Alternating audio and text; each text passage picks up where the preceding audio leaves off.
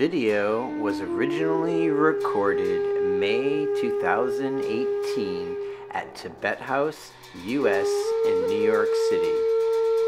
To watch more videos from this program, please visit tibethouse.us.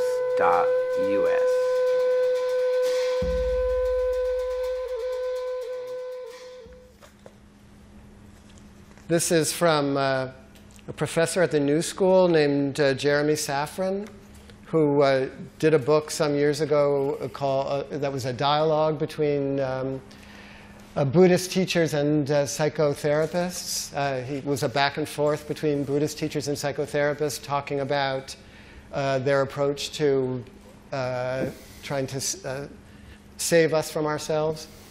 Um, he, was tra- he tragically died the other night, Jeremy Safran, but over the years I always quote the, the epigraph of this book, which I'll read to you in a minute is uh, a very personal thing that he's writing about his relationship with his Tibetan Lama that I think is his attempt to talk about uh, what I'm trying to talk about.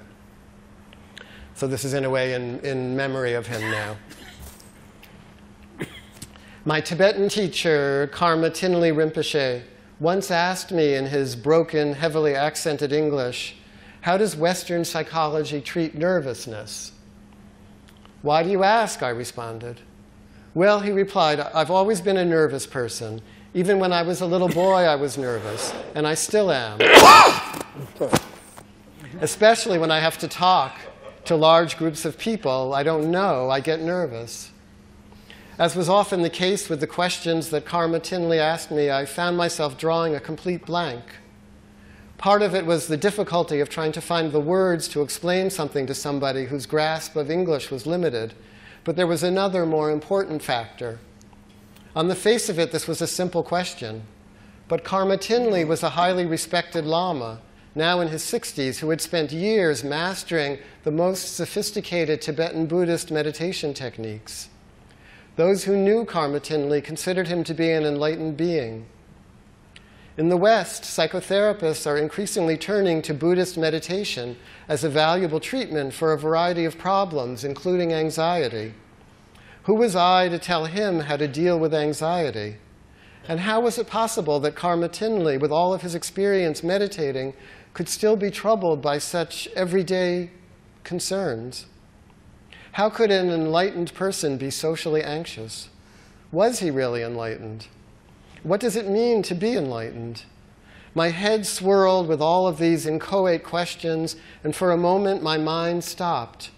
I felt a sense of warmth coming from Karma Thinley, and I felt warmly towards him. I felt young, soft, open, and uncertain about everything I knew. So I called him up when I, I, got the book, which he had asked me to blurb, and I called him up when I read this and told him how much I loved this. You know, this was my favorite thing in the book. And he said, oh, his editors wanted him to leave it out because they, they thought it would be too confusing to people. But I think that young, soft, open, and uncertain about everything he knew, that's the part that I love that more even than the socially anxious lama, although, you, you know, I don't think we have to think that our personalities change. We'll be talking about this as we as we go on. If, should any of us ever reach enlightenment, I, I think we'll still be the same person that we always were. Um, but Bob is the expert in, in that. He'll be telling us. Um, so, okay. From the psychoanalytic point of view, uh, this is from a, uh, colleague and friend of mine named Michael Eigen, who's a, a psychoanalyst here in New York, now uh, approaching, uh, he's probably 80 years old or so. And uh, he's an expert in a British psychoanalyst who's been a big influence on me named Wilfred Bion, from whose work I stole the phrase thoughts without a thinker for my first book.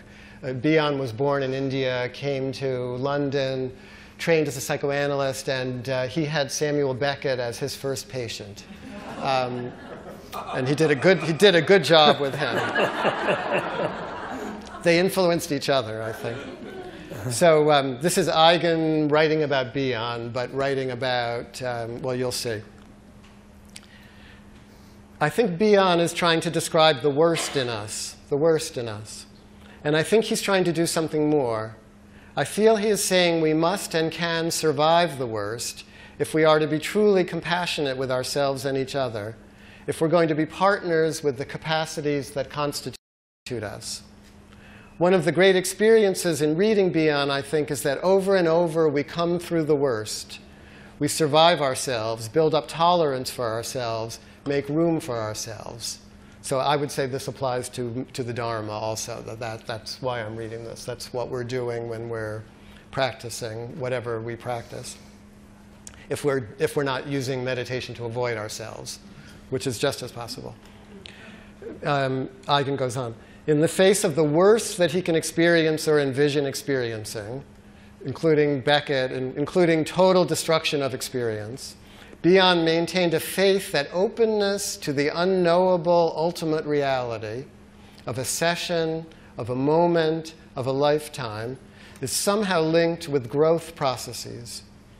I think that Bion must have been close to destroying every possibility of goodness in life, and that he speaks from his own experience of surviving the great destruction. I think he must have discovered for himself that life erupts in the valley of the shadow of death I think Bion always had an eye on the backcloth of destruction. He always was facing the horror of himself.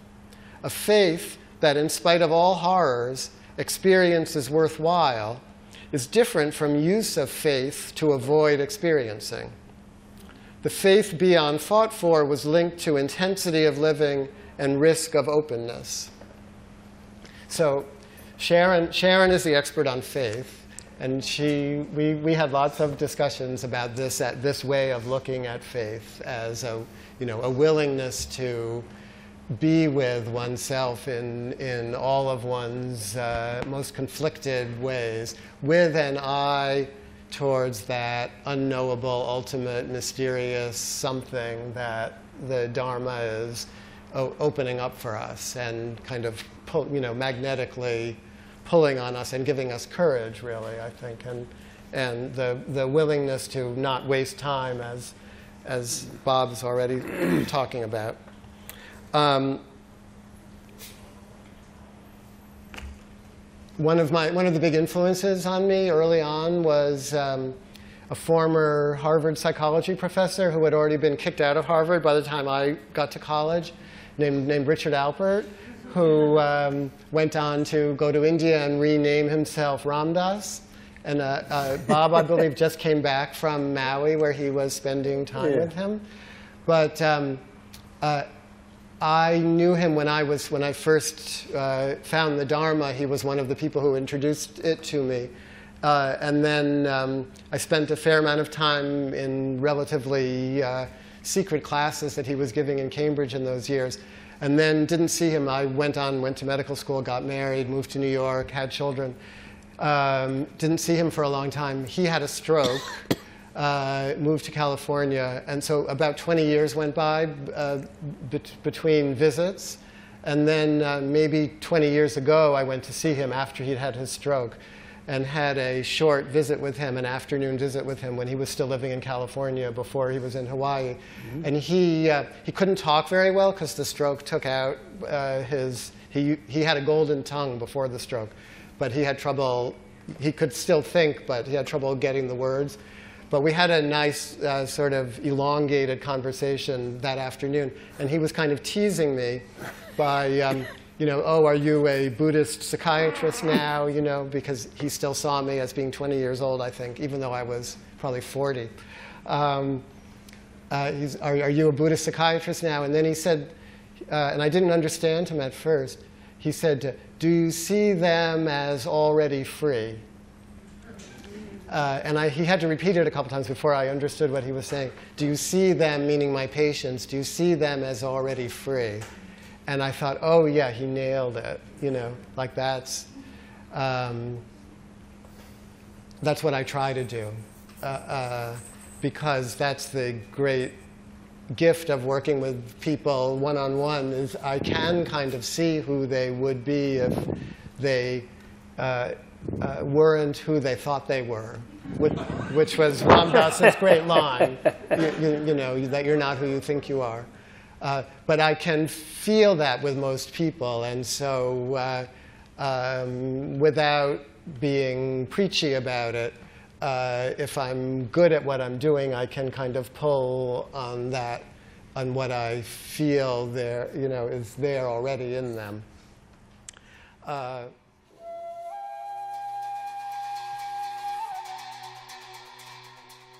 This video was brought to you in part through the generous support of the Tibet House US membership community and viewers like you. To learn more about the benefits of Tibet House membership, including special tours with Robert Thurman and geographic expeditions, please visit tibethouse.us. Tashi Delek, and thanks for tuning in.